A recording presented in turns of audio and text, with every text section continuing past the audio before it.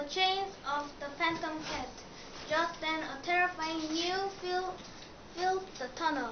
We heard chains clicking on the tracks. The phantom cat must be near. We, my heart was, was tap dancing like Frank, Frankie Fest pose on stage. Why oh why had I come along? Suddenly it was silent again. At first no one moved. We were all shanked. Then Trap be began digging through courage, he explained. He pulled some bread and a small tube. He squeezed, squeezed a